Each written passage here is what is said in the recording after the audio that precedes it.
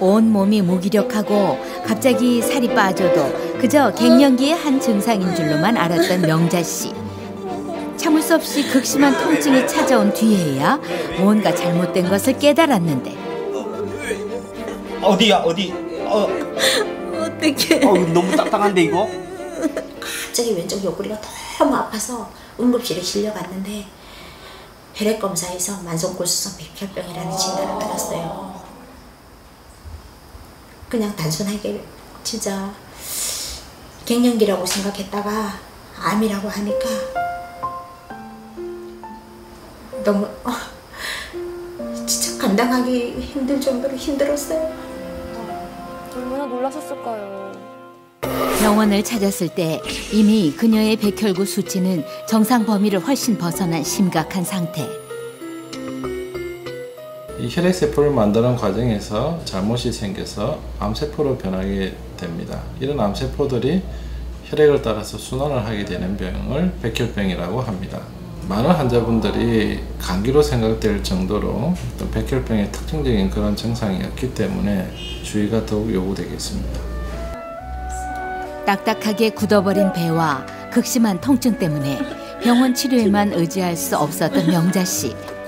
결국 아픈 몸을 이끌고 이리저리 수소문하며 치료법을 찾아 헤매기 시작했는데 무엇보다 명자 씨가 살아야만 했던 가장 큰 이유는 가족이었습니다.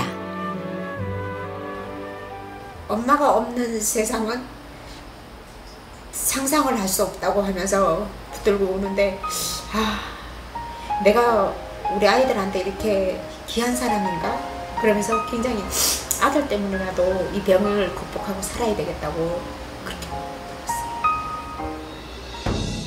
그렇게 시작한 첫 번째 방법은 살기 위해 필사적으로 매달리는 것. 어떻게 해서든 나아야 한다는 일념으로 시작한 치료법을 보여준다는데 이거 먹는 거 아니에요 그럼 이거 어디에? 몸에다가 붙일 거예요 고추를 몸에 붙인다고요?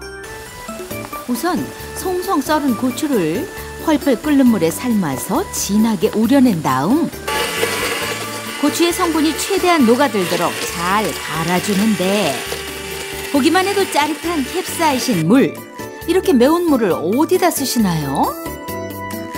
우리가 이렇게 운동을 하면 땀이 나잖아요 그것처럼 이 매운 캡사이신을 몸에 바르면 온 땀구멍이 다 열리는 거예요 그래서 몸 안에 독소를 쫙 끄집어내는 작업을 해요 여기서 끝이 아니다. 숨겨둔 비밀 재료를 냉장고에서 꺼내는 명자 씨. 이건 뭐예요? 이거요? 네. 암세포를 잡는 가루예요 뭐 그런 게 있어요? 암세포를 잡는다는 가루. 까맣고 고운 겉모습으론 정체를 알기 어려운데 커피인가요? 자가버섯 가루예요 차가버섯 가루? 예, 면역력을 높여주고요 그다음에 혈액순환도 도와주고요 몸 안에 모든 노폐물도 빼주잖아요 오. 차가버섯 가루를 고추와 똑같은 1대1의 비율로 타서 잘 저어주기만 하면 몸에 바르기 딱 좋은 걸쭉한 액체가 완성됩니다.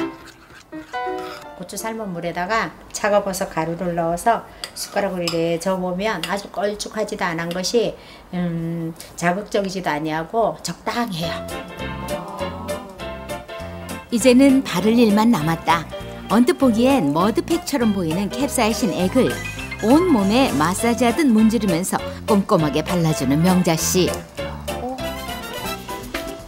하지만 가까이 촬영하는 제작진의 코를 마비시킬 정도로 엄청나게 뿜어져 나오는 매운 향기. 어머니, 예. 되게 좀 매운 냄새가 괜찮으세요? 안 따가우세요? 따갑죠 따갑고 화끈화끈하고 참기 힘들 정도로 힘들지만 청양고추 속에 들어있는 그 캡사이신이 모공을 깊숙이 열어주면 차가버섯이 들어가서 암세포를 면역력을 높이는 거기 때문에 암세포를 죽이는 방법은 또 민감한 사람들은 참기도 어려운 캡사이신이 명자 씨의 몸에는 정말로 도움이 되는 걸까? 어머니 정말 이게 몸에 좋은 거예요? 예, 나한테는 맞아요. 아무리 좋은 것도 내 몸에 안 맞으면 안 되잖아요. 근데 저는 이게 나한테 딱 맞아요. 그래서 이렇게 조- 좋아서 하는 거예요. 2007년 대한약침학회에 발표된 논문에 따르면 고추 추출물은 항산화 효과를 비롯해 몸에 이로운 다양한 효능을 가지고 있습니다. 고추의 캡사이신은 본래 식물이 자신을 곰팡이와 각종 잡균으로부터 지키기 위해서 만들어낸 천연 화합물인데요. 음, 사람이 먹거나 바르게 되면